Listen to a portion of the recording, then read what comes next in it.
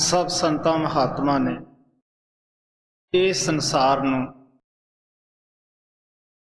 ਦੁੱਖਾਂ ਦੀ ਨਗਰੀ ਜਾਂ ਦੁੱਖਾਂ ਦਾ ਘਰ ਕਰਕੇ ਬਿਆਨ ਕੀਤਾ ਹੈ।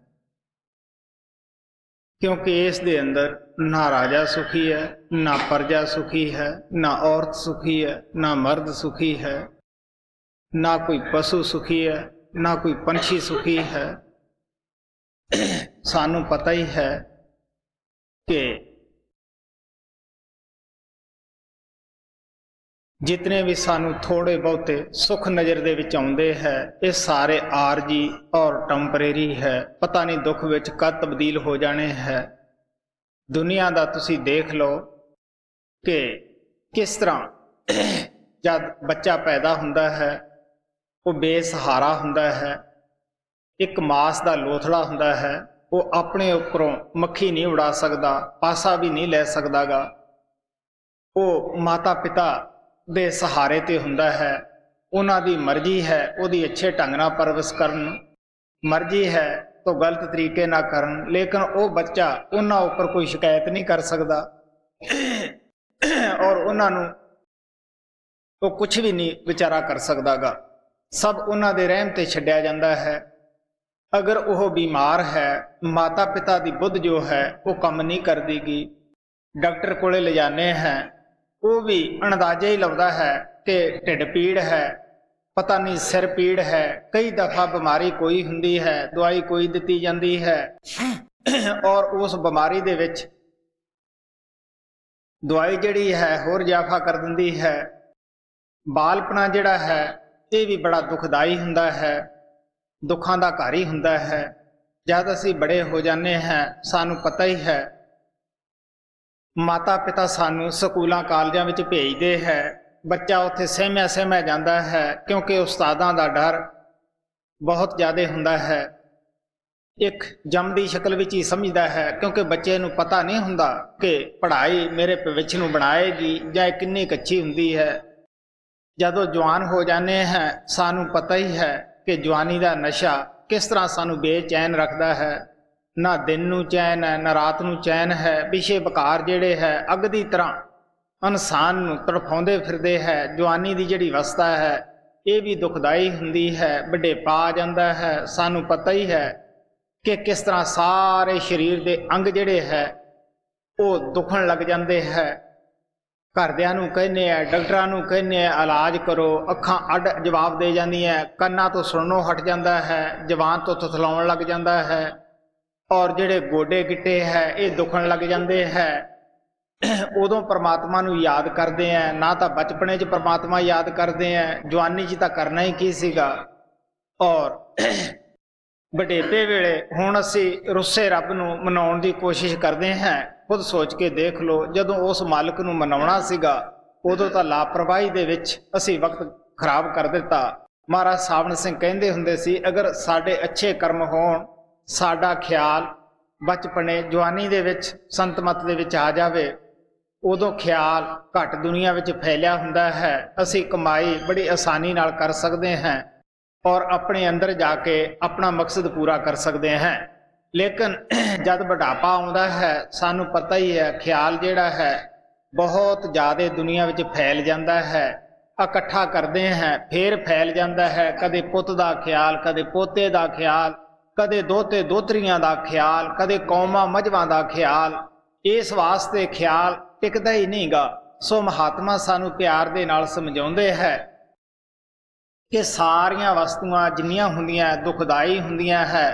ਅਗਰ ਪ੍ਰਮਾਤਮਾ ਸਾਨੂੰ ਚੰਗੇ ਤੋਂ ਚੰਗਾ ਕੋਈ ਧਨ ਦੌਲਤ ਦੇ ਦੇ, ਅੱਛੀ ਔਲਾਦ ਦੇ ਦੇ, ਉਹਦਾ ਵੀ ਸਾਨੂੰ ਡਰ ਲੱਗਿਆ ਰਹਿੰਦਾ ਹੈ, ਅੱਛੀ ਇੱਜ਼ਤ ਮਿਲ ਜਾਵੇ, ਉਹਨੂੰ ਖੁਸ਼ ਜਾਣ ਦਾ ਡਰ ਲੱਗਿਆ ਹੈ, ਅੱਛੀ ਪੋਜੀਸ਼ਨ ਮਿਲ ਜਾਵੇ, ਔਰ ਉਹ ਵੀ ਸਾਨੂੰ ਦਿਨ ਰਾਤ ਬੇਚੈਨ ਹੋਏ ਰਹਿੰਦੇ ਆ, ਕਿਤੇ ਖੁਸ਼ ਨਾ ਜਾਵੇ।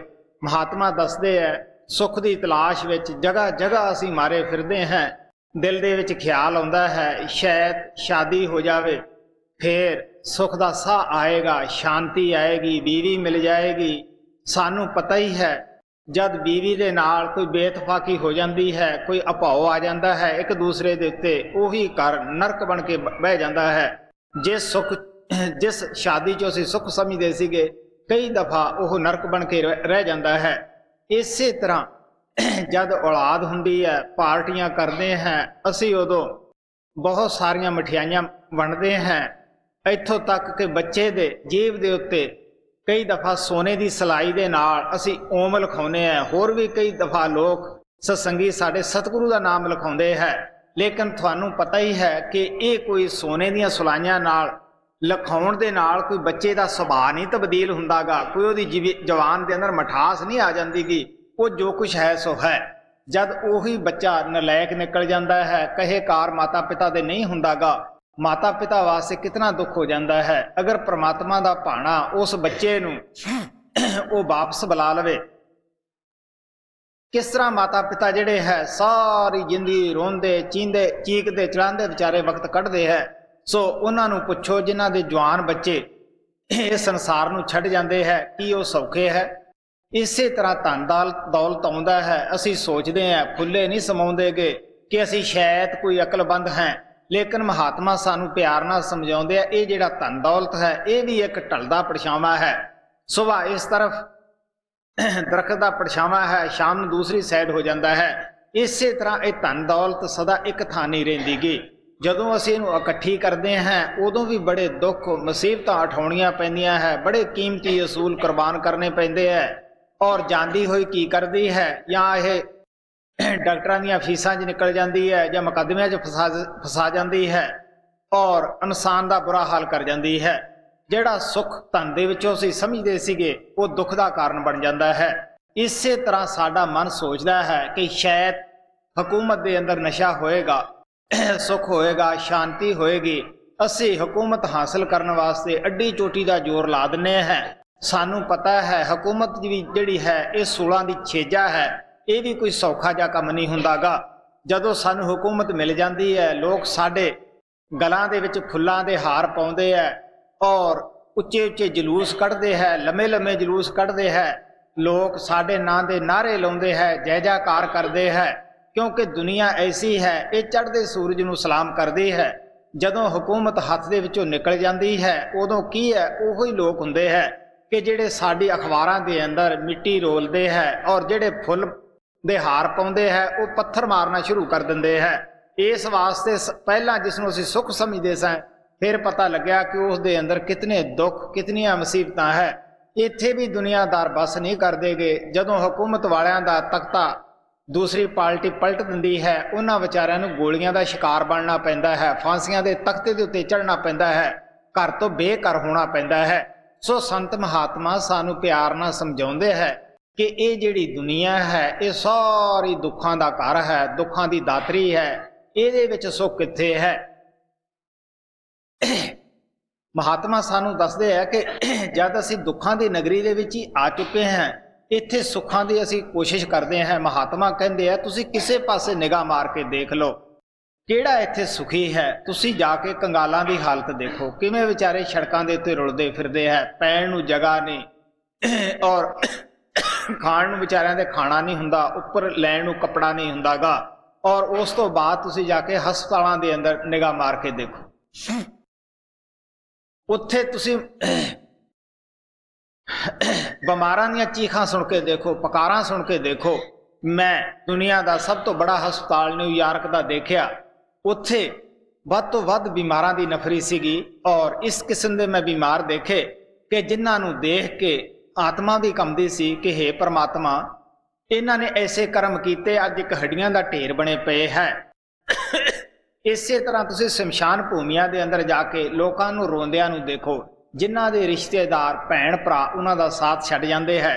ਉਹਨਾਂ ਦੀ ਚੀਖੋ ਪੁਕਾਰ ਸੁਣ ਕੇ ਤਾਂ ਦੇਖੋ ਕਿ ਕਿਤੇ ਹੈ ਸੁੱਖ, ਕਿਤੇ ਹੈ ਸ਼ਾਂਤੀ ਸੋ ਇਸ ਵਾਸਤੇ ਮਹਾਤਮਾ ਸਾਨੂੰ ਪਿਆਰ ਦੇ ਨਾਲ ਸਮਝਾਉਂਦੇ ਹੈ ਇਹ ਦੁਨੀਆ 'ਚ ਸੁੱਖ ਨਹੀਂ, ਅਗਰ ਸੁੱਖ ਹੈ, ਉਹ ਨਾਮ ਵਿੱਚ ਹੈ। ਗੁਰੂ ਨਾਨਕ ਸਾਹਿਬ ਕਹਿੰਦੇ ਆ, ਨਾਨਕ ਦੁਖੀਆ ਸਭ ਸੰਸਾਰ, ਮੰਨੇ ਨਾਉ ਸੋਈ ਜਣ ਜਾਏ, ਔਰੀ ਕਰਮ ਨਾ ਲੇਖੇ ਲਾਏ।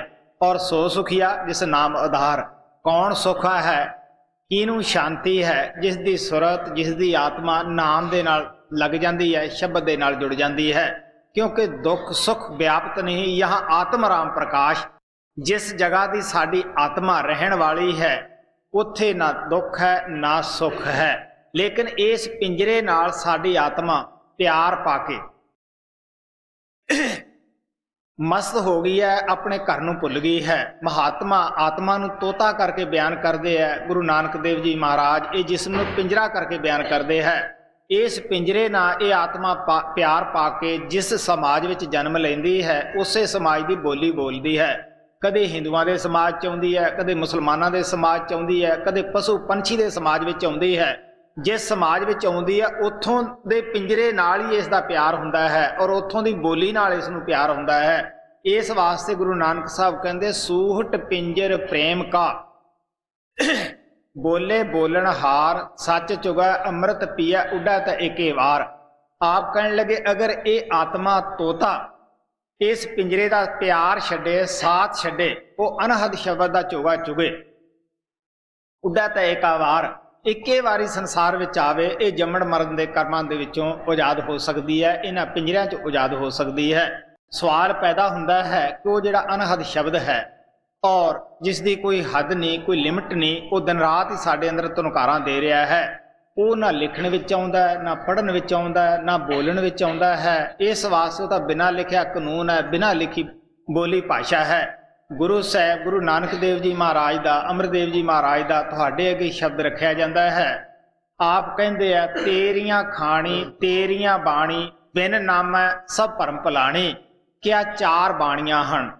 ਪਰਾ ਹੈ, ਸੰਤੀ ਹੈ, ਮਧਮੀ ਹੈ, ਮਧਮਾ ਹੈ, ਬੈਖਰੀ ਹੈ। ਇੱਕ ਉਹ ਹੈ ਕਿ ਜੋਗੀ ਜਨ ਹਿਰਦੇ ਦੇ ਵਿੱਚ ਹਲੌਰ ਦੀ ਤਰ੍ਹਾਂ ਉਠਾਉਂਦੇ ਹੈ ਔਰ ਇੱਕ ਅਸੀਂ ਜਵਾਨ ਨਾਲ ਬੋਲਦੇ ਹਾਂ ਕਿਉਂਕਿ ਇੱਕ ਦੂਸਰੇ ਦੇ ਪ੍ਰਭਾਵ ਜਾਂ ਅਸੀਂ ਜਵਾਨ ਦੇ ਨਾਲ ਹੀ ਸਮਝਾ ਸਕਦੇ ਹਾਂ। ਇਹ ਚਾਰੇ ਬਾਣੀਆਂ ਲਿਖਣ ਪੜਨ ਬੋਲਣ ਦੇ ਵਿੱਚ ਆਉਂਦੀਆਂ ਹੈ। ਇਸ ਵਾਸਤੇ ਆਪ ਕਹਿੰਦੇ ਇਹਨਾਂ ਨੂੰ ਨਾਮ ਦੀ ਖਬਰ ਨਹੀਂ ਗੀ ਔਰ ਨਾਮ ਤੋਂ ਬੇਖਬਰ ਹੈ। ਆਪ ਕਹਿੰਦੇ ਆ, ਤੇਰੀਆਂ ਖਾਣੀ, ਚਾਰ ਖਾਣੀਆਂ ਹੈ, ਅੰਡਜ ਹੈ, ਜੇਰਜ ਹੈ, ਸੇਤੁਜ ਹੈ ਉਤਪੁਜ ਹੈ। ਆਪ ਕਹਿਣ ਲਗੇ, ਇੱਕ ਉਹ ਖਾਣੀ ਹੈ ਜਿਹੜੀ ਅੰਡਿਆਂ ਤੋਂ ਪੈਦਾ ਹੁੰਦੀ ਹੈ, ਇੱਕ ਜੇਰ ਤੋਂ ਪੈਦਾ ਹੁੰਦੀ ਹੈ। ਔਰ ਬਨਸਪਤੀ ਜਿਹੜੀ ਹੈ, ਸਾਨੂੰ ਪਤਾ ਹੀ ਹੈ ਜ਼ਮੀਨ ਦੇ ਵਿੱਚ ਉਗਦੀ ਹੈ।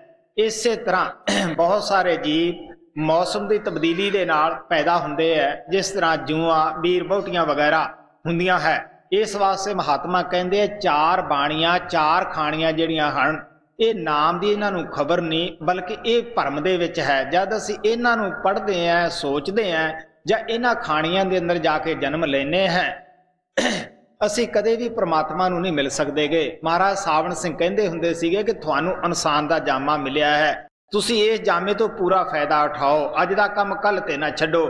ਐਸਾ ਨਾ ਹੋਵੇ ਕਿਸੇ ਇਸੇ ਜਗ੍ਹਾ ਜਾ ਕੇ ਜਨਮ ਹੋ ਜਾਵੇ ਜਿੱਥੇ ਅਸੀਂ ਪ੍ਰਮਾਤਮਾ ਦੀ ਤਰਫ ਭੁੱਲ ਕੇ ਵੀ ਨਾ ਆ ਸਕੀਏ, ਉਹ ਇਹਨਾਂ ਖਾਣੀਆਂ ਦੇ ਅੰਦਰ ਆ ਜਾਂਦਾ ਹੈ ਔਰ ਸਾਨੂੰ ਕੀ ਪਤਾ ਹੈ, ਪਸ਼ੂ ਬਣ ਜਾਈਏ।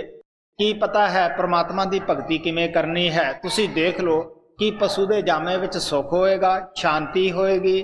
ਕਿਸ ਤਰ੍ਹਾਂ ਉਹਨਾਂ ਵਿਚਾਰਿਆਂ ਦੀ ਪਿੱਠ ਦੇ ਉੱਤੇ ਲਾਗਾ ਲੱਗਿਆ ਹੁੰਦਾ ਹੈ, ਧੌਣ ਤੇ ਲਾਗਾ ਲੱਗਿਆ ਹੁੰਦਾ ਹੈ, ਜ਼ਖਮ ਹੋਏ ਹੁੰਦੇ ਹੈ ਔਰ ਕੋਈ ਅਦਾਲਤ ਹੈ ਜਿਹਦੇ ਵਿੱਚ ਉਹ ਦੱਸਣ ਕਿ ਸਾਥੋਂ ਅੱਜ ਤਾਂਗਾ ਨਹੀਂ ਖਿੱਚਿਆ ਜਾਂਦਾ ਜਾਂ ਜੀਵੀਦਾਰ ਨੂੰ ਕਹਿ ਸਕਣ ਕਿ ਸਾਥੋਂ ਅੱਜ ਹਲ ਨਹੀਂ ਖਿੱਚਿਆ ਜਾਂਦਾ, ਕੋਈ ਮਾਤਾ ਹੈ ਦਰਦ ਬਣਾਉਣ ਵਾਲੀ, ਕੋਈ ਹੈ ਅਦਾਲਤ, ਕਿੱਥੇ ਜਾ ਕੇ ਵਿਚਾਰੇ ਉਹ ਫਰਿਆਦ ਕਰਨ? ਇਸ ਵਾਸਤੇ ਇਹ ਕਿਉਂ ਦੁੱਖ ਔਰ ਕਸ਼ਟ ਉਠਾਉਣੇ ਪੈਂਦੇ ਹੈ?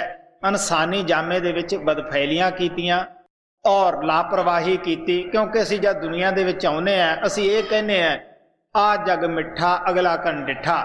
ਇਹ ਜਿਹੜਾ ਖਿਆਲ ਹੈ, ਇਹ ਕਿਰਾਏ ਪਾਉਣ ਵਾਲਾ ਹੈ। ਮਹਾਤਮਾ ਦੱਸਦੇ ਆ ਇਹ ਦੁਨੀਆ ਦੇ ਅੰਦਰ ਅੰਨਾ ਅੰਨੇ ਦਾ ਆਗੂ ਹੈ। ਇਸ ਵਾਸਤੇ ਸਾਨੂੰ ਕੌਣ ਰਸਤਾ ਦੱਸੇ? ਸੋ ਮਹਾਤਮਾ ਸਾਨੂੰ ਇਹ ਸਮਝਾਉਣ ਵਾਸਤੇ ਸੰਸਾਰ ਦੇ ਉੱਤੇ ਆਉਂਦੇ ਹੈ। ਉਹ ਕਿਸੇ ਦਾ ਸਮਾਜ ਤੋੜਨ ਵਾਸਤੇ ਨਹੀਂ ਆਉਂਦੇ, ਕੋਈ ਨਵਾਂ ਬਣਾਉਣ ਵਾਸਤੇ ਨਹੀਂ ਆਉਂਦੇਗੇ, ਕਿਸੇ ਦੀ ਉਹ ਨਿੰਦਿਆ ਜਾਂ ਚੁਗਲੀ ਨਹੀਂ ਕਰਦੇਗੇ। ਮਹਾਤਮਾ ਤਾਂ ਸਿਰਫ ਸਾਨੂੰ ਉਸ ਪਰਮਾਤਮਾ ਦੇ ਮੁਤਲਕ ਦੱਸਦੇ ਹੈ ਕਿ ਸਾਡੀ ਆਤਮਾ ਉਸ ਪਰਮਾਤਮਾ ਦੀ ਅੰਸ਼ ਹੈ। ਉਸ ਪਰਮਾਤਮਾ ਤੋਂ ਵਿਛੜ ਕੇ ਮਨ ਔਰ ਮਾਇਆ ਦੇ ਜਾਲ ਵਿੱਚ ਫਸ ਗਈ ਹੈ, ਆਪਣੇ ਘਰ ਨੂੰ ਭੁੱਲ ਗਈ ਹੈ। ਔਰ ਤੁਹਾਨੂੰ ਜਿਹੜਾ ਮਨ ਹੈ ਇਹ ਕਰਾਹੇ ਪਾਈ ਫਿਰਦਾ ਹੈ।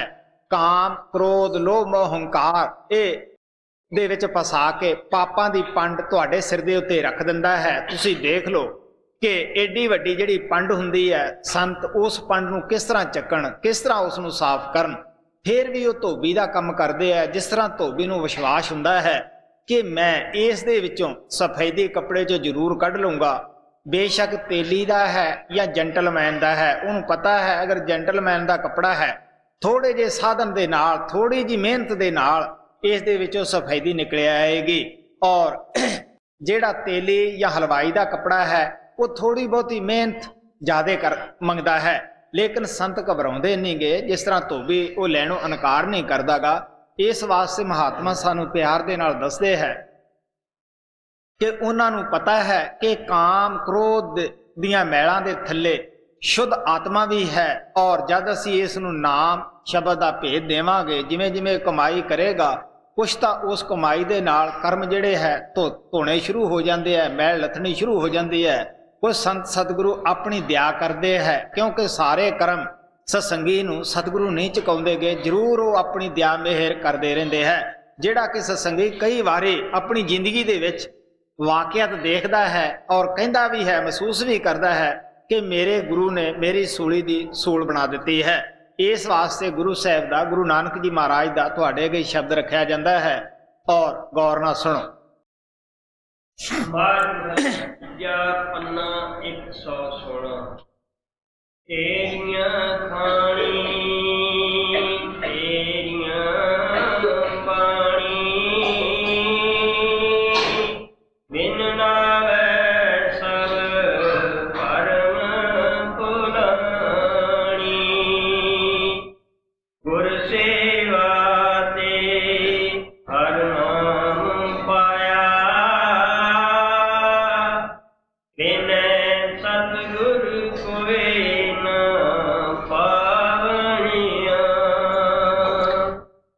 ਬੜੀ ਸੋਚ ਸਮਝ ਦੀ ਗੱਲ ਹੈ।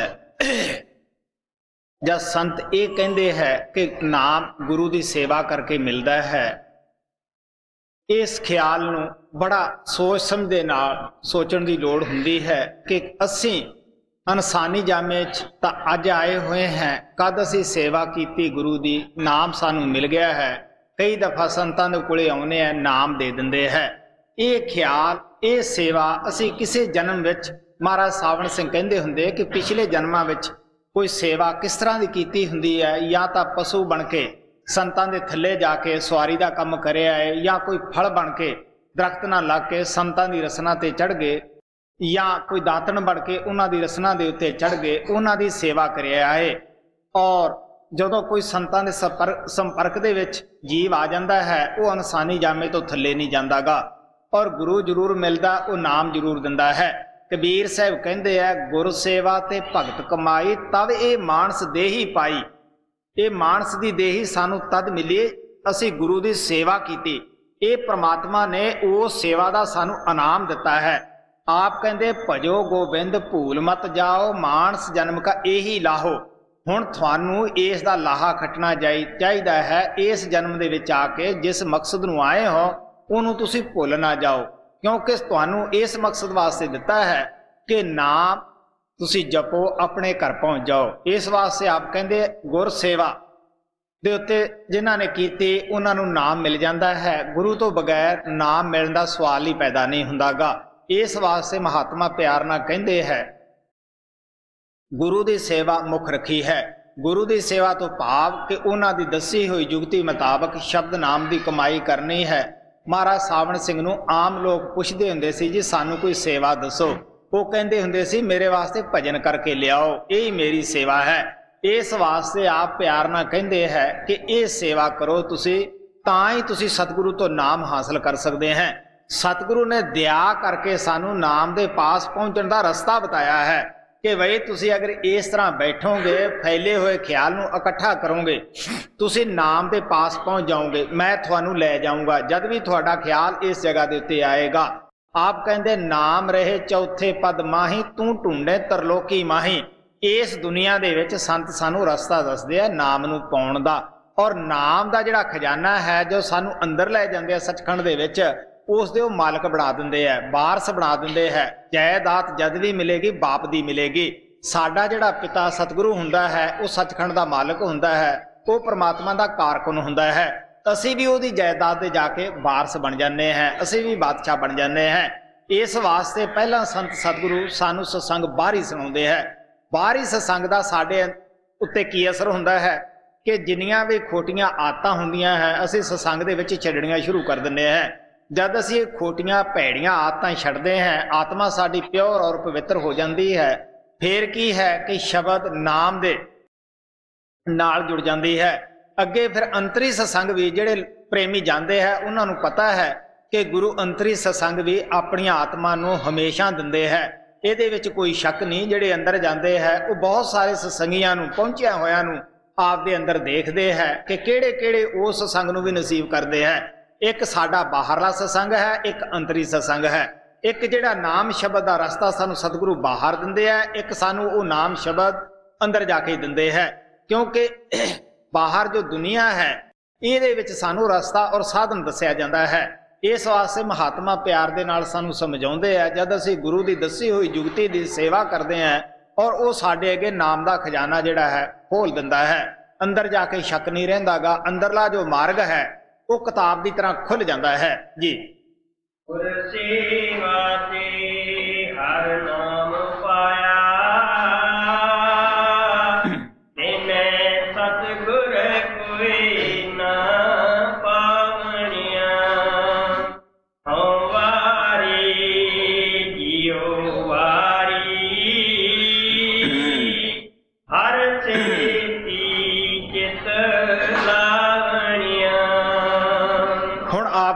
ਆਪ ਜੋ ਪਰਮਾਤਮਾ ਦੀ ਭਗਤੀ ਕਰਦੇ ਆ, ਪਰਮਾਤਮਾ ਦੀ ਯਾਦ ਦੇ ਵਿੱਚ ਬੈਠਦੇ ਆ, ਅਸੀਂ ਉਹਨਾਂ ਦੇ ਉਤੋਂ ਕੁਰਬਾਨ ਜਾਂਦੇ ਆ, ਬਲਿਹਾਰ ਜਾਂਦੇ ਹੈ, ਕਿਉਂਕਿ ਉਹਨਾਂ ਨੇ ਸਾਡੇ ਅੰਦਰ ਅੰਮ੍ਰਿਤ ਦਾ ਨਾਮ ਭਰਿਆ ਹੋਇਆ, ਸਾਡੇ ਮਨ ਦੇ ਵਿੱਚ ਵਸਾ ਦਿੱਤਾ, ਕਿਉਂਕਿ ਸਤਿਗੁਰੂ ਦੀ, ਜਿਹੜੀ ਪ੍ਰਮਾਤਮਾ ਦੀ ਭਗਤੀ ਹੈ, ਗੁਰੂ ਹੀ ਕਰਦਾ ਹੈ, ਕਿਉਂਕਿ ਉਹ ਜੁੜਿਆ ਹੋਇਆ ਹੈ।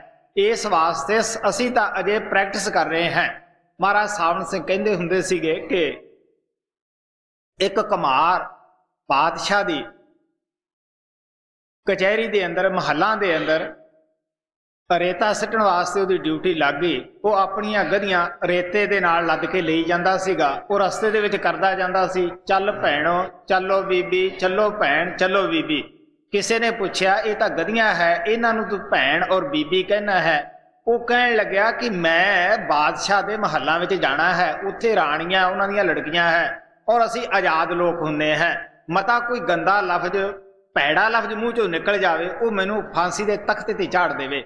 ਮੈਂ ਪ੍ਰੈਕਟਿਸ ਕਰ ਰਿਹਾ ਤਾਂ ਕਿ ਉੱਥੇ ਮੇਰੇ ਮੂੰਹ ਦੇ ਵਿੱਚੋਂ ਚੰਗਾ ਹੀ ਲਫ਼ਜ਼ ਨਿਕਲੇ। ਇਸ ਵਾਸਤੇ ਜਿਹੜਾ ਅਸੀਂ ਸਤਸੰਗ ਕਰਦੇ ਹਾਂ, ਰੋਜ਼ ਨਾਮ ਜਪਦੇ ਹਾਂ, ਸਿਮਰਨ ਕਰਦੇ ਹਾਂ, ਇਹ ਅਸੀਂ ਪ੍ਰੈਕਟਿਸ ਕਰਦੇ ਹਾਂ ਤਾਂ ਕਿ ਅੰਤ ਸਮੇਂ ਸਾਡਾ ਖਿਆਲ ਇਸੇ ਪਾਸੇ ਆਵੇ, ਸਿਮਰਨ ਹੀ ਸਾਡੇ ਮੂੰਹ ਦੇ ਵਿੱਚੋਂ ਨਿਕਲੇ। ਸੋ ਮਹਾਤਮਾ ਸਾਨੂੰ ਬੜੇ ਜੁਗਤੀ ਦੇ ਨਾਲ, ਪਿਆਰ ਦੇ ਨਾਲ ਸਮਝਾਉਂਦੇ ਹੈ। ਸੋ ਆਪ ਕਹਿੰਦੇ ਆ ਮੈਂ ਉਸ ਤੋਂ ਕੁਰਬਾਨ ਜਾਣਾ ਹੈ ਬਲਿਹਾਰ ਜਾਣਾ ਹੈ।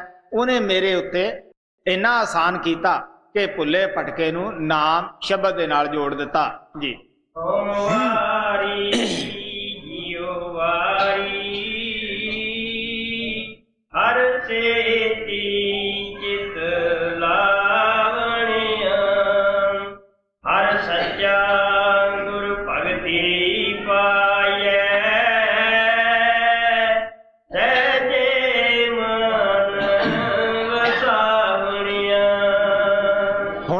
ਕਹਿੰਦੇ ਆ ਕਿ ਇਹ ਕਿਸੇ ਸਮਾਜ ਦੀ ਜਾਂ ਹਕੂਮਤ ਦੀ ਸਹਾਇਤਾ ਨਾਲ ਅਸੀਂ ਉਸ ਪ੍ਰਮਾਤਮਾ ਨੂੰ ਪਾ ਨਹੀਂ ਸਕਦੇਗੇ। ਇਹਨੂੰ ਜਦੋਂ ਵੀ ਅਸੀਂ ਪ੍ਰਮਾਤਮਾ ਨੂੰ ਪਾਉਣਾ ਹੈ, ਗੁਰੂ ਦੀ ਭਗਤੀ, ਗੁਰੂ ਦੀ ਦਇਆ ਦੇ ਨਾਲ ਹੀ ਪਾ ਸਕਦੇ ਹਾਂ।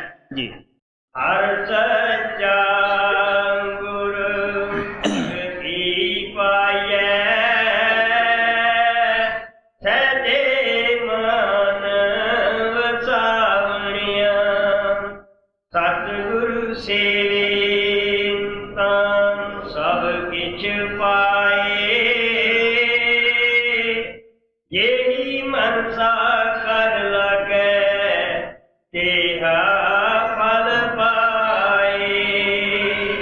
ਮਹਾਤਮਾ ਸਾਨੂੰ ਦੱਸਦੇ ਆ ਕਿ ਹਾਥੀ ਦੀ ਪੌਂ ਮੇ ਸਭ ਦੇ ਪੌਂ ਆ ਜਾਂਦੇ ਹੈ। ਅਗਰ ਅਸੀਂ ਗੁਰੂ ਦੀ ਭਗਤੀ ਕਰੀਏ, ਦੇਵੀ ਦੇਵਤੇ ਸਾਰੇ ਸਾਡੇ ਤੇ ਖੁਸ਼ ਹੋ ਜਾਂਦੇ ਹੈ। ਆਪ ਕਹਿੰਦੇ ਆ, ਸਵਾਮੀ ਜੀ ਮਹਾਰਾਜ ਦੀ ਬਾਣੀ ਹੈ ਕਿ ਗੁਰ ਰਾਜੀ ਤੋ ਕਰਤਾ ਰਾਜੀ, ਕਰਮ ਕਾਲ ਕੀ ਚੱਲੇ ਨਾ ਬਾਜੀ। ਅਗਰ ਗੁਰੂ ਰਾਜੀ ਹੈ ਤਾਂ ਭਗਵਾਨ ਵੀ ਖੁਸ਼ ਹੈ। ਔਰ ਕੋਈ ਸਾਡਾ ਬੁਰਾ ਕਰਮ ਅਗਰ ਆਉਂਦਾ ਹੈ, ਸਾਡਾ ਆਪਣਾ ਕੀਤਾ, ਉਸ ਦੇ ਅੰਦਰ ਅਸੀਂ ਘਬਰਾਉਂਦੇ ਨਹੀਂ, ਕਿਉਂਕਿ ਨਾਮ ਜਪ ਕੇ ਸਾਡੀ ਆਤਮਾ ਬਲਵਾਨ ਹੋ ਜਾਂਦੀ ਹੈ। ਅਭਿਆਸੀ ਆਦਮੀ ਦੁੱਖਾਂ ਦਾ ਮੁਕਾਬਲਾ ਖੜੇ ਮੱਥੇ ਕਰ ਲੈਂਦਾ ਹੈ, ਕਿਉਂਕਿ ਉਹਨੂੰ ਪਤਾ ਹੈ, ਮਨ ਅਗਰ ਘਬਰਾਉਂਦਾ ਹੈ, ਉਹਨੂੰ ਕਹਿੰਦਾ, ਦੇਖ ਵੀ, ਇਹ ਤੇਰਾ ਹੀ ਕਰਮ ਹੈ। ਤੂੰ ਸੋਚ, ਭਜਨ ਕਰ, ਕਟਿਆ ਜਾਏਗਾ। ਇਸ ਵਾਸਤੇ ਆਪ ਕਹਿੰਦੇ ਆ ਕਿ ਗੁਰੂ ਦੀ ਭਗਤੀ ਵਿੱਚ ਸਭ ਕੁਝ ਹੀ ਆ ਜਾਂਦਾ ਹੈ। ਤਾਂ ਆਪ ਕਹਿੰਦੇ ਕਿ ਸਤਿਗੁਰ ਸੇਵੇ ਤਾਂ ਸਭ ਕੁਝ ਪਾਏ। ਸਤਿਗੁਰੂ ਦੀ ਸੇਵਾ ਤੋਂ ਮਤਲਬ ਭ- ਭਜਨ ਕਰੇ ਤਾਂ ਜਿਹੜੀ ਮਨਸ਼ਾ ਹੈ, ਉਹੀ ਸਤਿਗੁਰੂ ਦਿੰਦਾ ਹੈ। ਕਿਉਂਕਿ ਮਹਾਰਾਜ ਸਾਵਣ ਸਿੰਘ ਕਹਿੰਦੇ ਹੁੰਦੇ ਸੀਗੇ, ਅਸੀਂ ਇੱਕ ਇੱਕ ਚੀਜ਼ ਦੀ ਭਗਤੀ ਕਰਦੇ ਆਂ ਅਸੀਂ ਸਾਰੀਆਂ ਚੀਜ਼ਾਂ ਤੋਂ ਵਾਂਝੇ ਰਹਿ ਜਾਂਦੇ ਹਾਂ, ਇੱਕ ਮਿਲ ਜਾਏਗੀ, ਉੱਥੇ ਹੋਰ ਬੜੀਆਂ ਚੀਜ਼ਾਂ ਦੀ ਕਮੀ ਹੁੰਦੀ ਹੈ। ਆ ਮਿਸਾਲ ਦੇ ਕੇ ਸਮਝਾਉਂਦੇ ਹੁੰਦੇ ਸੀ, ਕਿਸੇ ਕੋਈ ਰਾਜਾ ਵਲਾਇਤ ਦੇ ਅੰਦਰ ਗਿਆ, ਸਾਰੀਆਂ ਰਾਣੀਆਂ ਨੇ ਉਹਨੂੰ ਕਹਿਲਾ ਭੇਜਿਆ ਕਿ ਮੇਰੇ ਵਾਸਤੇ ਇਹ ਸ਼ਿੰਗਾਰ ਦੀ ਚੀਜ਼ ਲਿਆਈ, ਮੇਰੇ ਵਾਸਤੇ ਇਹ ਚੀਜ਼ ਸ਼ਿੰਗਾਰ ਦੀ ਲਿਆਈ। ਇੱਕ ਜਿਹੜੀ ਛੋਟੀ ਰਾਣੀ ਸੀ, ਸਾਰੀਆਂ ਰਾਣੀਆਂ ਦੀ ਨਜ਼ਰ ਵਿੱਚ ਉਹ ਪਗਲੀ ਸੀ। ਉਸ ਨੇ ਇਹ ਕਹਿਲਾ ਭੇਜਿਆ ਕਿ ਸਵਾਮੀ ਜੀ, ਕਿਸੇ ਵਸਤੂ ਦੀ ਜ਼ਰੂਰਤ ਨਹੀਂ, ਸਿਰਫ ਤੁਹਾਡੀ ਜ਼ਰੂਰਤ ਹੈ। ਰਾਜੇ ਨੇ ਜੋ ਵੀ ਪੱਤਰ, ਟੈਲੀਫੋਨ ਵਗੈਰਾ ਤੇ ਕਿਹਾ ਸੀ, ਸਭ ਦੀਆਂ ਚੀਜ਼ਾਂ ਲੈ ਲੈ ਕੇ ਆ ਗਿਆ। ਇੱਕ ਇੱਕ ਕਰਕੇ ਚੀਜ਼ ਉਹਨਾਂ ਦੇ ਘਰਾਂ ਵਿੱਚ ਪਹੁੰਚਾ ਦਿੱਤੀ। ਜਿਸ ਰਾਣੀ ਨੇ ਇਹ ਕਿਹਾ ਸੀਗਾ ਕਿ ਸਵਾਮੀ ਜੀ, ਮੈਨੂੰ ਤੁਹਾਡੀ ਜ਼ਰੂਰਤ ਹੈ, ਤੁਹਾਡੀ ਲੋੜ ਹੈ, ਤੁਸੀਂ ਆ ਜਾਓ। ਰਾਜਾ ਉਸ ਰਾਣੀ ਦੇ ਘਰੇ ਖੁਦ ਜਾ ਕੇ ਬੈਠ ਗਿਆ। ਹੁਣ ਤੁਸੀਂ ਖੁਦ ਹੀ ਸੋਚ ਸਕਦੇ ਹੋ ਕਿ ਜਿੱਥੇ ਰਾਜਾ, ਉੱਥੇ ਕਿਹੜੀਆਂ ਚੀਜ਼ਾਂ ਦੀ ਕਮੀ ਹੁੰਦੀ ਹੈ, ਉੱਥੇ ਸਭ ਕੁਝ ਹੀ ਹੋ ਜਾਂਦੀ ਹੈ। ਅਗਰ ਅਸੀਂ ਗੁਰੂ ਦੀ ਭਗਤੀ ਕਰਾਂਗੇ, ਗੁਰੂ ਨੂੰ ਆਪਦੇ ਅੰਦਰ ਪ੍ਰਗਟ ਕਰ ਲਾਂਗੇ, ਕਿਆ ਜਿਸ ਚੀਜ਼ ਦੀ ਜ਼ਰੂਰਤ ਹੈ, ਉਹ ਗੁਰੂ ਖੁਦ ਹੀ ਦੇਖੇਗਾ। ਉਹ ਗੁਰੂ ਆਪਣੇ ਆਪ ਹੀ ਕਰੇਗਾ। ਕਿਉਂਕਿ ਉਹਨੂੰ ਸਾਰਾ ਫਿਕਰ ਹੁੰਦਾ ਹੈ। ਇਸ ਵਾਸਤੇ ਆਪ ਕਹਿੰਦੇ ਕਿ ਜੋ ਮਨਸਾ ਕਰਕੇ, ਜੋ ਮੰਗਾ ਠਾਕਰ ਆਪਣੇ ਤੇ ਸੋਈ ਸੋਈ ਦੇਵਾ, ਲੇਕਿਨ ਅਸੀਂ ਠਾਕਰ ਤਾਈਂ ਪਹੁੰਚ ਤਾਂ ਕਰੀਏ, ਤੁਸੀਂ ਪਹੁੰਚ ਕਰਕੇ ਇੱਕ ਵਾਰੀ ਬਿਨਾ ਮੰਗੇ ਹੀ ਦੇ ਦੇਗਾ। ਜੀ। ਸਤਿਗੁਰ ਸੇਵੇ ਤਾਂ ਸਭ ਕਿਛ ਪਾਏ।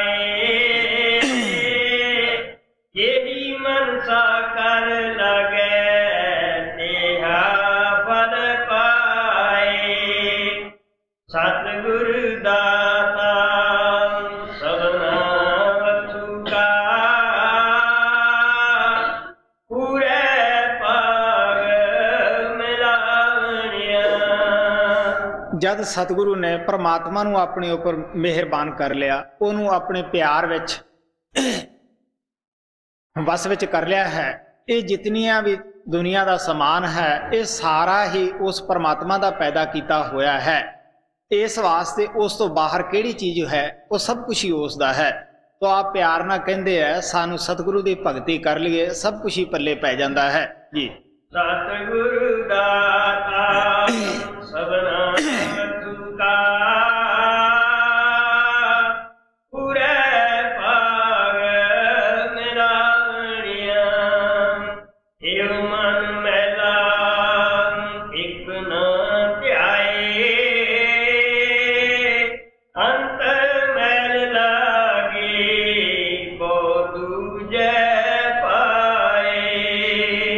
ਕਹਿੰਦੇ ਮਨ ਜਿਹੜਾ ਹੈ ਪਾਪਾਂ ਦੀ ਮੈਲ ਨਾਲ ਲਿਬੜਿਆ ਰਹਿੰਦਾ ਹੈ। ਸਿਮਰਨ ਕਰਦੇ ਨਹੀਂ, ਅਭਿਆਸ ਕਰਦੇ ਨਹੀਂ, ਪਵਿੱਤਰ ਹੋਣ ਵਾਸਤੇ ਅਸੀਂ ਸੋਚਦੇ ਵੀ ਨਹੀਂ। ਹੋਣਾ ਤੱਕ ਹੀ ਸੀਗਾ? ਇਸ ਵਾਸਤੇ ਆਪ ਕਹਿੰਦੇ ਆ, ਇਹ ਪ੍ਰਮਾਤਮਾ ਦੀ ਭਗਤੀ ਦੀ ਤਰਫ ਨਹੀਂ ਲੱਗਦਾਗਾ। ਕਦੇ ਕਿਸੇ ਪਾਸੇ ਦੌੜਿਆ ਫਿਰਦਾ ਕਦੇ ਕਿਸੇ ਪਾਸੇ ਦੌੜਿਆ ਫਿਰਦਾ ਹੈ। ਇਸ ਵਾਸਤੇ ਆਪ ਕਹਿੰਦੇ ਆ, ਇਹ ਮੈਲਾ ਹੈ। ਸਿਮਰਨ ਹੀ ਇਸ ਨੂੰ ਪਵਿੱਤਰ ਕਰ ਸਕਦਾ ਹੈ, ਪਿਓਰ ਕਰ ਸਕਦਾ ਹੈ। ਜੀ। ਏ ਮਨ ਮੈਲਾ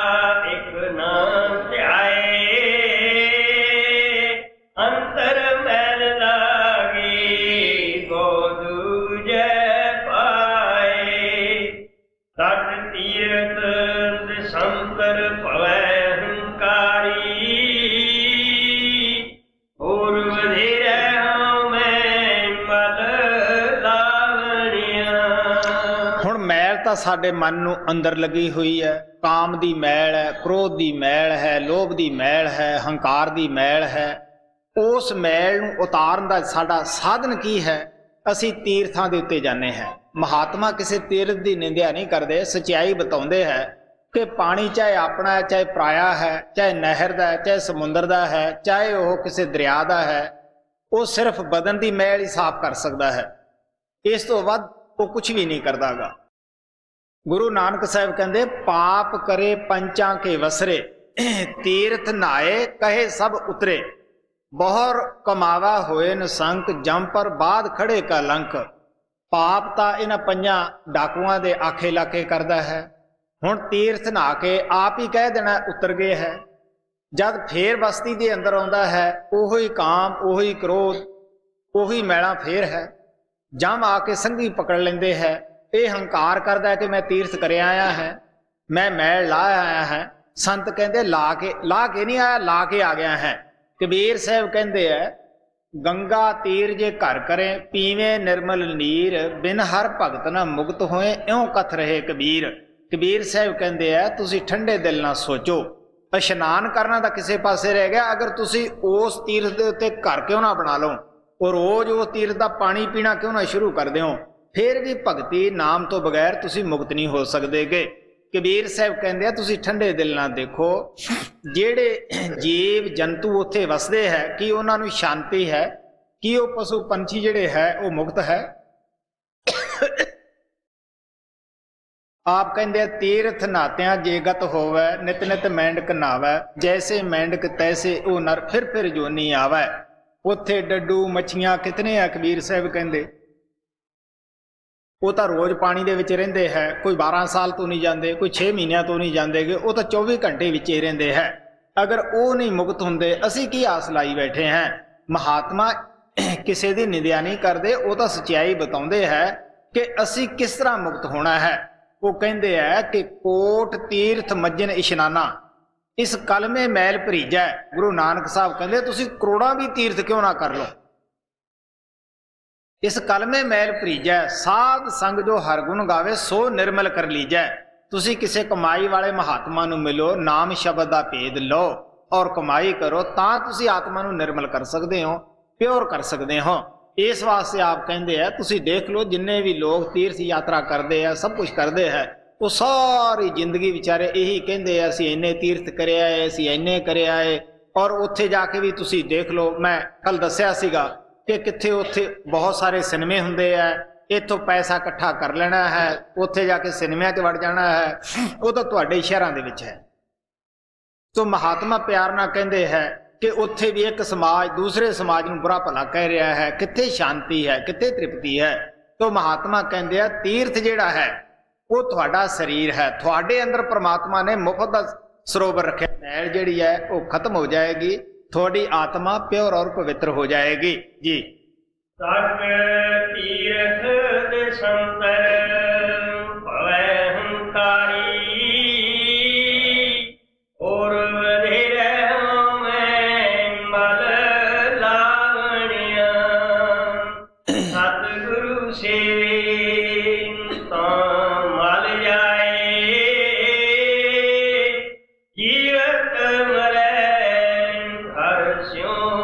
ਚਿਤ ਲਾਏ। ਇਹ ਸਾਡੀ ਮੈਲ ਲਾਉਣ ਦੀ ਯੁਕਤੀ ਹੈ, ਜੋ ਸਤਿਗੁਰੂ ਦੱਸਦਾ ਹੈ ਕਿ ਕਿਸ ਤਰ੍ਹਾਂ ਫੈਲੇ ਹੋਏ ਖਿਆਲ ਨੂੰ ਤੀਸਰੇ ਤਿਲ ਤੇ ਇਕਾਗਰ ਕਰਨਾ ਹੈ। ਜਦੋਂ ਅਸੀਂ ਆਪਣੇ ਖਿਆਲ ਨੂੰ ਨੌ ਦੁਆਰਿਆਂ ਤੋਂ ਦੇ ਵਿੱਚ ਭਟਕਣ ਦੀ ਆਦਤ ਪਾ ਦਿੰਨੇ ਹੈ ਖੁੱਲ ਦੇ ਦਿੰਨੇ ਹੈ, ਅਸੀਂ ਆਪਣੀ ਬਹੁਤ ਸਾਰੀ ਸ਼ਕਤੀ ਹੈ ਜਿਹੜੀ ਉਸ ਨੂੰ ਖਤਮ ਕਰ ਰਹੇ ਹੁੰਨੇ ਹੈ। ਸੋ ਮਹਾਤਮਾ ਸਾਡੀ ਉਸ ਗਈ ਹੋਈ ਸ਼ਕਤੀ ਨੂੰ ਫੇਰ ਵਾਪਸ ਲਿਆਉਣ ਵਾਸਤੇ ਕਹਿੰਦੇ ਹੈ ਕਿ ਵਾਰ-ਵਾਰ ਤੁਸੀਂ ਆਪਣੇ ਮਨ ਨੂੰ ਇਸ ਜਗ੍ਹਾ ਇਕਾਗਰ ਕਰੋ।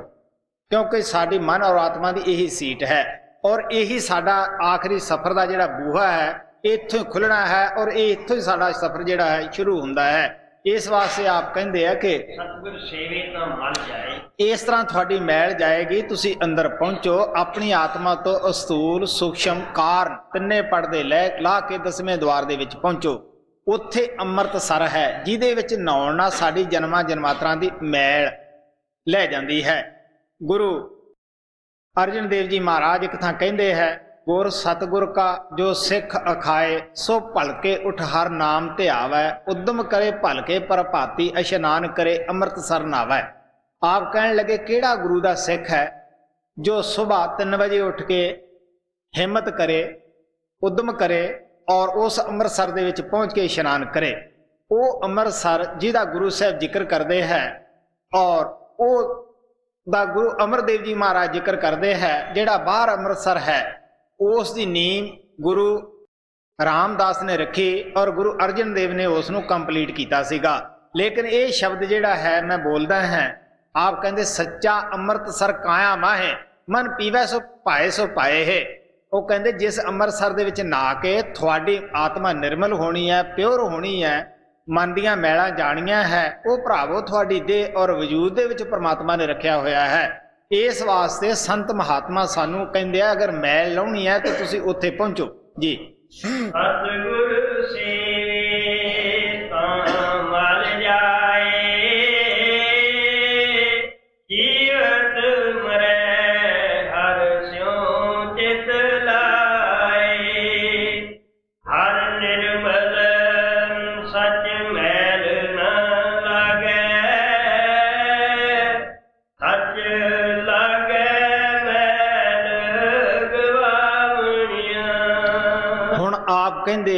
ਕਿ ਉਹ ਪਰਮਾਤਮਾ ਤਾਂ ਪਿਓਰ ਹੈ, ਪਵਿੱਤਰ ਹੈ। ਸਾਡੀ ਆਤਮਾ ਵੀ ਉਸ ਦੀ ਅੰਸ਼ ਹੈ, ਉਹ ਵੀ ਪਿਓਰ ਔਰ ਪਵਿੱਤਰ ਹੈ। ਸਾਨੂੰ ਪਤਾ ਹੀ ਹੈ ਕਿ ਜਦ ਪਾਣੀ ਸਮੁੰਦਰ ਦੇ ਵਿੱਚੋਂ ਬਖਾਰਾਤ ਬਣ ਕੇ ਉੱਡਦਾ ਹੈ, ਉਹ ਬਿਲਕੁਲ ਸਾਫ਼ ਹੁੰਦਾ ਹੈ। ਜਦ ਬਦਲਾਂ ਦੇ ਵਿੱਚੋਂ ਬਰਸਾਤ ਬਣ ਕੇ ਜ਼ਮੀਨ ਤੇ ਆਉਂਦਾ ਹੈ, ਫਿਰ ਵੀ ਉਹ ਬਿਲਕੁਲ ਸਾਫ਼, ਪਿਓਰ ਹੁੰਦਾ ਹੈ। ਲੇਕਿਨ ਉਹੀ ਪਾਣੀ ਜਦ ਜ਼ਮੀਨ ਤੇ ਗਿਰ ਜਾਂਦਾ ਹੈ, ਨਾ, ਗੰਦੀਆਂ ਨਾਲੀਆਂ ਦੇ ਵਿੱਚ ਖੜ ਜਾਂਦਾ ਹੈ ਫਿਰ ਕੀ ਹੈ? ਗੰਦ ਦਾ ਸਾਥ ਲੈ ਕੇ ਉਹ ਵੀ ਗੰਦਾ ਹੋ ਜਾਂਦਾ ਉਸ ਵਿੱਚੋਂ ਵੀ ਬਦਬੂ ਆਉਣੀ ਸ਼ੁਰੂ ਹੋ ਜਾਂਦੀ ਹੈ।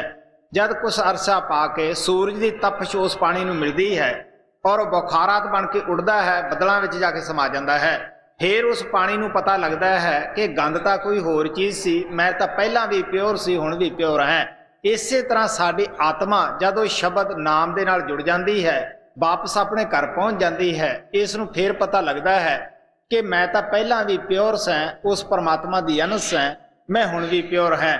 ਮੈਂ ਤਾਂ ਐਵੇਂ ਇੰਦਰੀਆਂ ਦੇ ਭੋਗਾਂ, ਵਿਸ਼ੇ ਬਕਾਰਾਂ ਦੇ ਵਿੱਚ ਫਸ ਕੇ ਮੈਲੀ ਹੋ ਗਈ, ਆਪਣੇ ਘਰ ਨੂੰ ਭੁੱਲ ਕੇ, ਠੇਡੇ ਠੋਕਰਾਂ ਖਾਧੀਆਂ, ਦੁਖੀ ਹੋਈ, ਔਰ ਮੈਂ ਤਾਂ ਐਵੇਂ ਭੁੱਲੀ ਰਹੀ। ਉੱਥੇ ਸ਼ੁਕਰਾਨਾ ਕਰਦੀ ਹੈ ਆਪਦੇ ਗੁਰੂ ਦਾ, ਔਰ ਫਿਰ ਹੋਰ ਸਹੇਲੀਆਂ ਨੂੰ ਵੀ ਦੱਸਦੀ ਹੈ ਕਿ ਭੈਣੇ, ਅਗਰ ਮੈਲ ਲਾਉਣ ਦਾ ਕੋਈ ਸਾਧਨ, ਤਰੀਕਾ ਹੈ ਉਹ ਪ੍ਰਮਾਤਮਾ ਨੇ ਸਾਡੇ ਅੰਦਰ ਰੱਖਿਆ ਹੋਇਆ ਹੈ। ਉਹ ਸ਼ਬਦ ਨਾਮ ਦੀ ਕਮਾਈ ਹੈ। ਜੀ। ਹਰ ਨਿਰਮਲ ਸੱਚ ਮੈਲ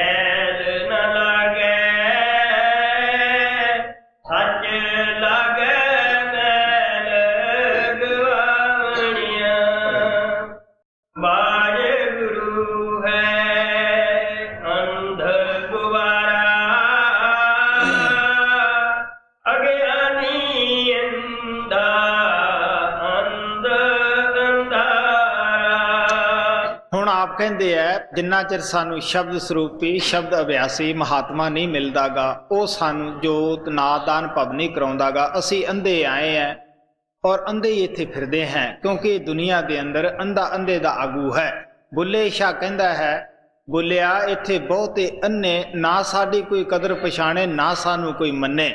ਸੰਤ ਇੱਥੇ ਅੰਧਿਆਂ ਦੀ ਦੁਨੀਆ ਦੇ ਵਿੱਚ ਆਏ ਹੁੰਦੇ ਹੈ। ਦੁਨੀਆ ਨੂੰ ਪਤਾ ਨਹੀਂਗਾ ਕਿ ਕੀ ਤਾਕਤ ਹੈ, ਕੀ ਵਸਤੂ ਹੈ। ਸਾਡੇ ਉੱਤੇ ਇਹ ਕੀ ਰਹਿਮਤ ਕਰਨ ਵਾਸਤੇ ਆਏ ਆ, ਕੀ ਸਾਡੇ ਨਾਲ ਇਹ ਪਿਆਰ ਕਰਨ ਵਾਸਤੇ ਆਏ ਆ, ਹਮਦਰਦੀ ਕਰਨ ਵਾਸਤੇ ਆਏ ਹੈ। ਲੇਕਿਨ ਅਸੀਂ, ਸਾਨੂੰ ਮਨ ਦੀ ਯਹਿਰ ਇਸ ਤਰ੍ਹਾਂ ਦੀ ਚੜ੍ਹਾਈ ਹੁੰਦੀ ਹੈ ਕਿ ਹੋਰ ਤਾਂ ਹੋਰ ਅਸੀਂ ਉਹਨਾਂ ਮਹਾਤਮਾ ਨੂੰ ਦੋ ਦਿਨ ਆਰਾਮ ਨਾਲ ਵੀ ਨਹੀਂ ਬੈਠਣ ਦਿੰਦੇਗੇ। ਗੁਰੂ ਨਾਨਕ ਨੂੰ ਲੋਕਾਂ ਨੇ ਕਰਾਈ ਆਖਿਆ, ਕਮਲਾ ਆਖਿਆ ਔਰ ਉਹਨੂੰ ਇੱਕ ਪਿੰਡ ਦੇ ਅੰਦਰ ਕਸੂਰ ਦੇ ਇਲਾਕੇ ਦੇ ਵਿੱਚ ਰਾਤ ਨਹੀਂ ਕੱਟਣ ਦਿੱਤੀ ਸੀਗੀ ਕਿ ਇਹ ਚੰਗਾ ਉਪਦੇਸ਼ ਨਹੀਂ ਕਰਦਾਗਾ। ਤੁਸੀਂ ਗੁਰੂ ਗੋਬਿੰਦ ਸਿੰਘ ਦੀ ਈਸ਼ੀ ਪੜ੍ਹ ਕੇ ਦੇਖ ਲਓ, ਉਹਨਾਂ ਦੇ ਮਾਸੂਮ ਬੱਚਿਆਂ ਨੂੰ ਨੀਆਂ ਦੇ ਵਿੱਚ ਚਿਣ ਦਿੱਤਾ ਔਰ ਖੁਦ ਉਹਨਾਂ ਦਾ ਘਰ ਘਾਟ ਲੁੱਟ ਲਿਆ, ਉਹਨਾਂ ਨੂੰ ਕਿਹੜਾ ਆਰਾਮ ਨਾਲ ਬੈਠਣ ਦਿੱਤਾ, ਉਹਨਾਂ ਦੇ ਮਗਰ ਵੀ ਫੌਜਾਂ ਲਾਈ ਰੱਖੀਆਂ, ਗੁਰੂ ਤੇਗ ਬਹਾਦਰ ਸਾਹਿਬ ਦੀ ਹਿਸਟਰੀ ਪੜ੍ਹ ਕੇ ਦੇਖ ਲਓ, ਕਿਸ ਤਰ੍ਹਾਂ ਉਸ ਵਕਤ ਦੀ ਹਕੂਮਤ ਨੇ ਆਪ ਨੂੰ ਦੁਨੀਆ ਦੇ ਸਾਹਮਣੇ ਭਗੌੜਾ ਕਹਿ ਕੇ ਕਤਲ ਕਰ ਦਿੱਤਾ ਸੀਗਾ। ਕੀ ਉਸ ਮਹਾਤਮਾ ਨੇ ਕੋਈ ਬੁਰੀ ਗੱਲ ਕਹੀ ਸੀਗੀ? ਉਹ ਤਾਂ ਰਹਿਮਤ ਕਰਨ ਵਾਸਤੇ ਆਏ ਸੀਗੇ। ਇਸੇ ਤਰ੍ਹਾਂ ਮਨਸੂਰ ਦੀ ਖਲਲਾ ਦਿੱਤੀ। ਇਸੇ ਤਰ੍ਹਾਂ ਮਨਸੂਰ ਨੂੰ ਪੱਥਰ ਮਾਰ-ਮਾਰ ਕੇ ਮਾਰਿਆ ਗਿਆ। ਸਮਸਤ ਦੀ ਖਲਲਾ ਦਿੱਤੀ। ਈਸਾ ਮਸੀਹ ਨੂੰ ਜਿਉਂਦੇ ਨੂੰ ਸੂਲੀ ਦੇ ਉੱਤੇ ਚੱਕ ਦਿੱਤਾ। ਸੋ ਮਹਾਤਮਾ ਕਹਿੰਦੇ ਆ ਕਿ ਉਹ ਤਾਂ ਬੜਾ ਰਹਿਮਤ ਲੈ ਕੇ ਆਉਂਦੇ ਆ। ਮਹਾਰਾਜ ਸਾਵਣ ਸਿੰਘ ਕਹਿੰਦੇ ਹੁੰਦੇ ਸੀਗੇ, ਉਦੋਂ ਅੰਗਰੇਜ਼ਾਂ ਦਾ ਰਾਜ ਹੁੰਦਾ ਸੀਗਾ। ਅੱਜ ਤਾਂ ਸਾਡੀ ਦੁਨੀਆ ਦੇ ਵਿੱਚ ਡੈਮੋਕ੍ਰੇਸੀ ਹੈ ਔਰ ਆਜ਼ਾਦ ਹੈ। ਜਿਸ ਵੀ ਲਫ਼ਜ਼ ਨਾਲ ਕੋਈ ਪ੍ਰਮਾਤਮਾ ਨੂੰ ਯਾਦ ਕਰੇ, ਕਰ ਸਕਦਾ ਹੈ। ਔਰ ਉਸ ਵੇਲੇ ਉਹ ਕਹਿੰਦੇ ਸੀ, ਇਹ ਅੰਗਰੇਜ਼ਾਂ ਦੇ ਰਾਜ ਦੀ ਖੂਬੀ ਹੈ, ਅਸੀਂ ਖੁੱਲਾ ਸਤਸੰਗ ਕਰ ਰਹੇ ਹਾਂ।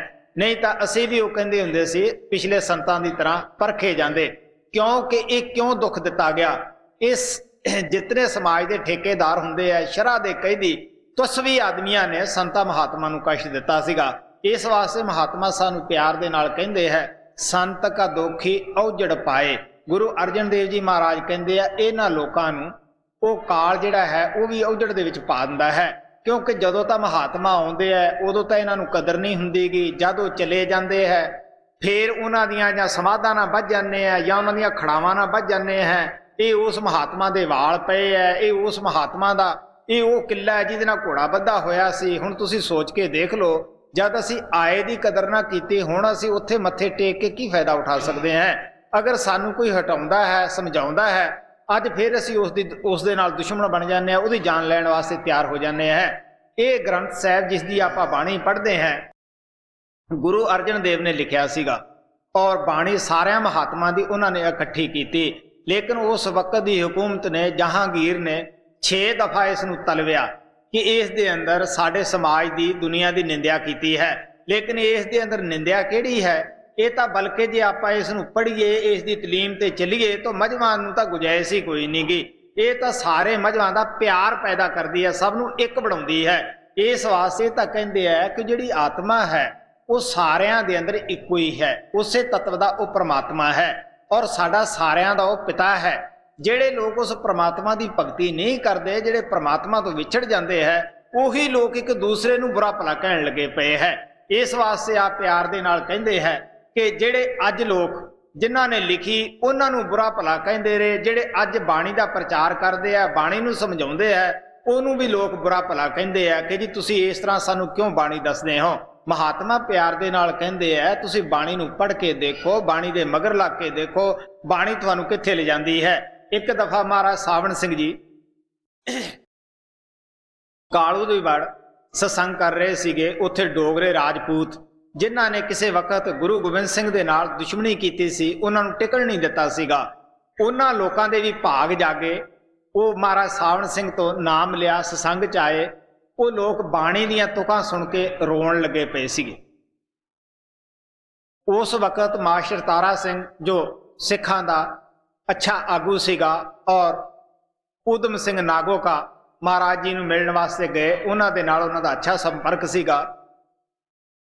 ਉਹ ਵੀ ਬਾਣੀ ਜਦ ਡੋਗਰੇ ਲੋਕ ਸੁਣਦੇ ਦੇਖੇ, ਰੋਂਦੇ ਦੇਖੇ, ਕਹਿਣ ਲੱਗੇ, ਮਹਾਰਾਜ ਜੀ, ਇਹਨਾਂ ਡੋਗਰੇ ਰਾਜਪੂਤਾਂ ਨੂੰ, ਪੱਥਰ ਪੂਜਾ ਨੂੰ ਬੜਾ ਬਾਣੀ ਦੇ ਨਾਲ ਪਿਆਰ ਹੈ, ਤੁਸੀਂ ਬੜੀ ਬਾਣੀ ਸਮਝਾਈ ਹੈ। ਮਹਾਰਾਜ ਸਾਵਣ ਸਿੰਘ ਹੱਸ ਕੇ ਕਹਿਣ ਲੱਗੇ, ਵੀ ਦੇਖੋ, ਬਾਣੀ ਦੇ ਲੜ ਮੈਂ ਲਾ ਦਿੱਤੇ ਆ, ਹੁਣ ਕੜੇ ਕੱਚ ਕਚਹਿਰੇ ਪਾਉਣੇ ਇਹ ਤੁਹਾਡਾ ਕੰਮ ਹੈ।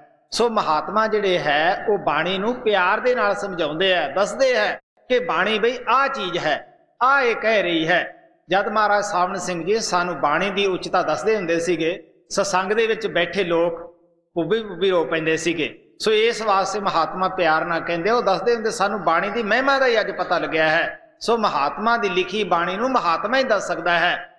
ਜਿਹੜੇ ਗੁਰੂ ਨਾਨਕ ਦੀ ਸਟੇਜ ਤੇ ਪਹੁੰਚੇ ਨਹੀਂ, ਉਹਨਾਂ ਨੂੰ ਗੁਰੂ ਨਾਨਕ ਦੀ ਤਲੀਮ ਦਾ ਕੀ ਗਿਆਨ ਹੋ ਸਕਦਾ ਹੈ? ਜਿਹੜੇ ਪਹੁੰਚੇ ਆ, ਉਹੀ ਉਸ ਦਾ ਬਿਆਨ ਕਰ ਸਕਦੇ ਆ। ਉਹਨਾਂ ਨੂੰ ਗੁਰੂ ਨਾਨਕ ਤੇ ਭਰੋਸਾ ਹੋ ਸਕਦਾ ਹੈ ਕਿ ਗੁਰੂ ਨਾਨਕ ਦਾ ਕੀ ਪ੍ਰਚਾਰ ਸੀਗਾ। ਇਸੇ ਤਰ੍ਹਾਂ ਕਬੀਰ ਸਾਹਿਬ ਜਿਹੜੇ ਸੀਗੇ, ਉਹਨਾਂ ਦੀ ਜਿਹੜਾ ਤਲੀਮ ਨੂੰ ਜਾਣੇਗਾ, ਉੱਥੇ ਪਹੁੰਚੇਗਾ, ਉਹੀ ਉਹਨਾਂ ਨੂੰ ਬਿਆਨ ਕਰੇਗਾ। ਜਿਸ ਨੇ ਮਿਸ਼ਰੀ ਖਾਦੀ ਨੂੰ ਮਿਸ਼ਰੀ ਦਾ ਸਵਾਦ ਕੀ ਦੱਸੇਗਾ? ਜੀ। ਵਾਹਿਗੁਰੂ ਹੈ।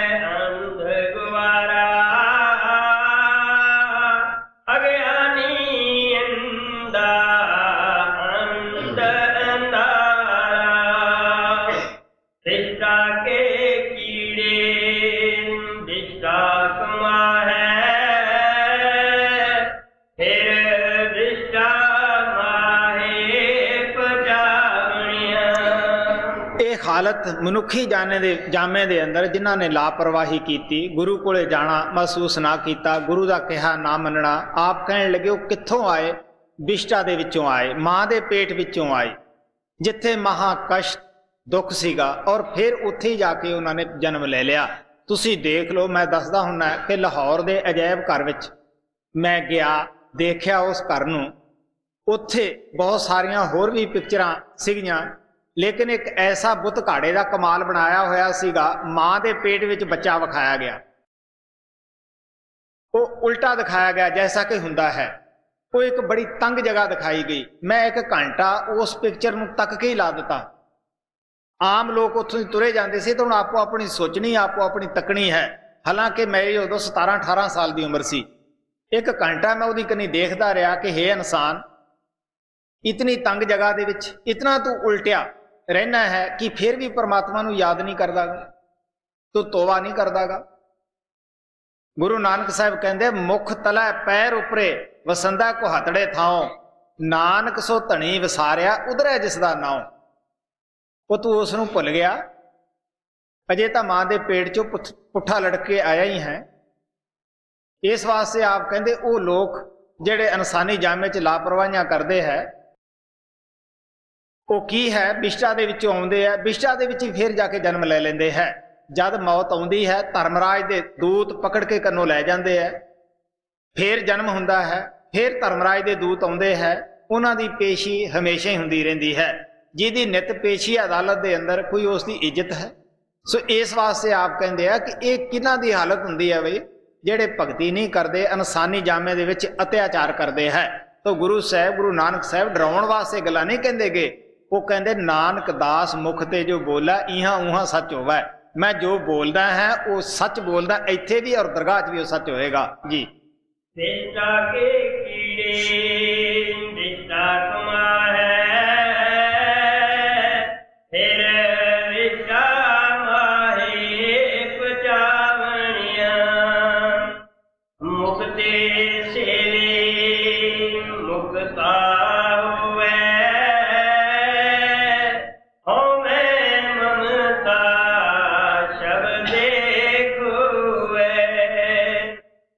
ਕਿੰਨਾ ਦੀ ਸੇਵਾ ਕਰਨੀ ਹੈ, ਕਿੰਨਾ ਦੀ ਪੂਜਾ ਕਰਨੀ ਹੈ, ਕਿੰਨਾ ਦਾ ਨਾਮ ਜਪਣਾ ਲਿਆ ਹੋਇਆ, ਕਹਿਣ ਲੱਗੇ ਜੋ ਜਿੰਦੇ ਜੀ ਮੁਕਤ ਹੋ ਹੋ ਜਾਂਦੇ ਆ, ਉਹੀ ਸਾਨੂੰ ਮੁਕਤੀ ਦੇ ਸਕਦੇ ਹੈ। ਜਿਹੜੇ ਆਪ ਮਿਲੇ ਆ, ਉਹੀ ਸਾਨੂੰ ਮਿਲਾ ਸਕਦੇ ਹੈ। ਜੀ। ਮੁਕਤੇ ਸੇਵੇ, ਮੁਕਤਾ